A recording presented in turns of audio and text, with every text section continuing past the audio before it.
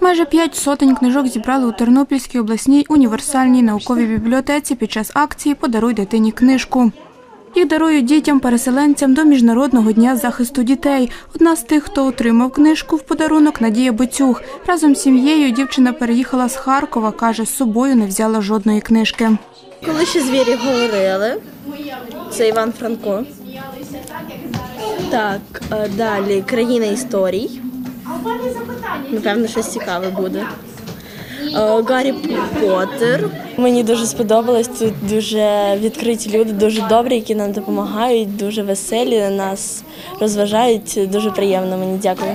Студенти тернопільських вишів зібрали понад 100 книжок. Крім цього, для дітей у бібліотеці організували ігри та квести. Ми вирішили долучитись до такого міні-святкування для дітей, адже зараз війна і всім тяжко. А діти це те, що нам треба радувати їх, дарувати їм радість і свято якесь навіть під час війни. Акція Подаруй дитині книжку розпочалась 10 травня. Завтра працівники планують подарувати ще 300 книжок дітям-переселенцям, які живуть у селі Товсте Чортківського району. Основна мета е, цієї акції полягає у тому, е, щоб задовільнити читацький попит е, дітей внутрішньопереміщених осіб.